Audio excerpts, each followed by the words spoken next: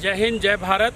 आज का दिन हम पैरामिलिट्री वेलफेयर एसोसिएशन की जो अगुवाई में श्री रणवीर सिंह के में पिछले सात साल से काम कर रही है, उसमें एक स्वर्णिम दिन आया है, जिसमें देश के सुप्रीम लीडर, माननीय राष्ट्रपति महोदय ने हमारे प्रतिनिधि मंडल को आमंत्रित किया और हमारी समस्याओं से रूबरू हुए।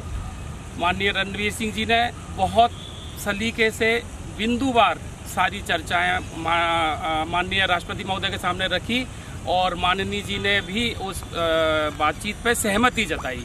हम लोग काफ़ी संघर्ष कर रहे हैं, काफ़ी दिनों से लगे हुए हैं।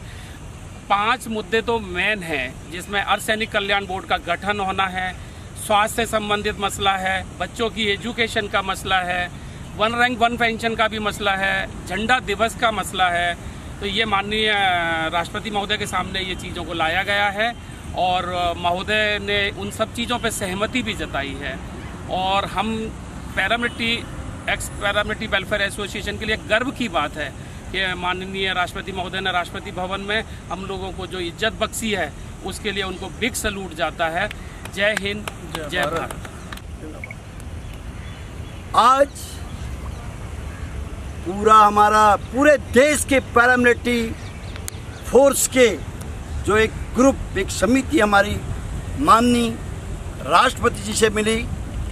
उनको हमारे महामंत्री संगठन के श्री रणबीर सिंह जी द्वारा जो भी समस्याएँ हमारी पूरे देश में पैरामिलिट्री के लिए हैं, जो एक्स पैरामिलिट्री वाले हैं और जो ऑन सर्विस पे हैं, उसको उनके सामने रखा। और माननीय राष्ट्रपति महोदय जी ने इसको माना और कहा कि मैं इस पर कार्रवाई करवाऊँगा और पूरा आश्वासन दिया। मैं Taradatt Sharma, retired deputy commandant, ITBP, Uttarakhand जिला अल्मोड़ा भिक्यासेन ब्लॉक से रहने वाला हूँ और मैं विशेषकर मुझे इस समिति द्वारा बुलाया गया और मैं पूरी समिति का माननीय राष्ट्रपति जी का उत्तराखंड की ओर से हार्दिक अभिनंदन करता हूँ, धन्यवाद करता हूँ। इसी तरह पूरा ग्रुप हमारा जो भी कार्य होता है, वो शीर्ष नेतृत्व से लेकर नीचे तक आज तक करते आए हैं।